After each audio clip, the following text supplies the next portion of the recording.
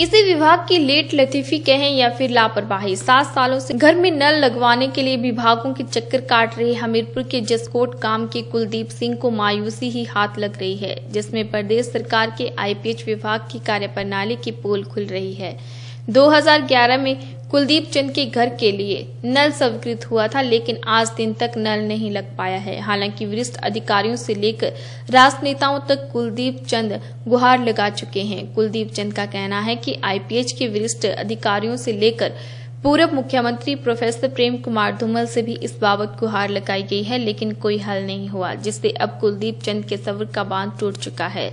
गौरतलब है कि जहाँ प्रदेश सरकार हर घर को पानी मुहैया करवाने के दावे करती नहीं थकती है, वहीं इस तरह हमीरपुर में सामने आए मामले से आईपीएच विभाग की पोल खुलती नज़र आ रही है। क्योंकि पूरी औपचारिकताएँ पूरी होने के बावजूद भी नल कनेक्शन नहीं दिया गया है और पिछले सात सालों से उपभोक्ता कभी एसडीओ तो कभी एक्शन कार्यालय के चक्कर काटने के लिए यहाँ वहाँ भटक रहा है।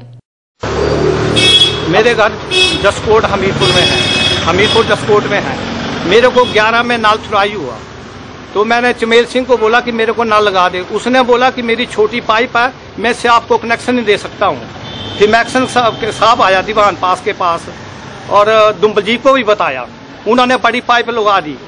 और वो आज तक उस नलके में पानी चालू नहीं हुआ। और वो पाइप ही इन्होंने आधी तोड़ के किसी को दे दी है, बेच दी, बिक्री। मैं नहीं सकता ये आपके पास फ़ोटो है, ये देख सकते हैं, टूटी हुई पाइप के और मेरे को नल का पानी नहीं आता पे मेरे को छह साल से तीन साल से पानी नहीं पीने के लिए।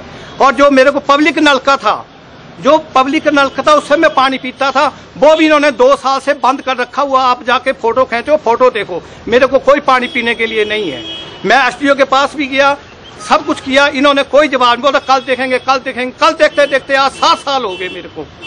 अब अगर अब भी आपकी समस्या हल नहीं होती तो क्या स्टेप रहेगा आपका? फिर तो वो ही होगा क्या होगा? उग्रवाद। और क्या होगा? कोई नहीं सुनेगा तो क्या करेंगे?